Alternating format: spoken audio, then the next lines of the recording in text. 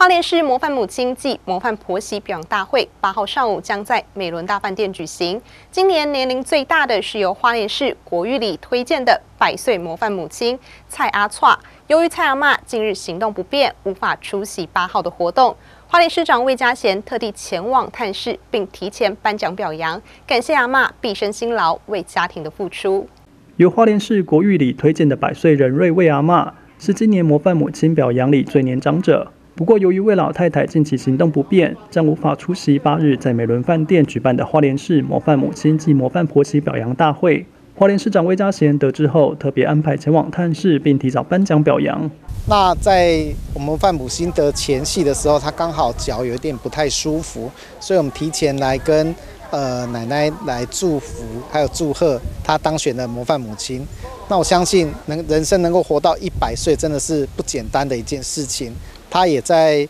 我们去拜访的过程里面，他有讲到，他从日治时期出生到现在，那其实一百年来，他对于他的呃整个环境的变化，还有一些呃周遭的一个呃人人的一个人事实地物的一个改变，他也有非常多的一个感触哈，那也跟我们分享。那也希望我们每一个年轻人都能够好好努力的做人做事，那未来一定有很好的发展。那再次要祝福我们魏阿妈在未来的呃人生里面都能够分享更多她的人生经验给更多的孩子们，还有更多的朋友们来分来享受她过去的一个人生法则。那我们也祝福她永远身体健康平安。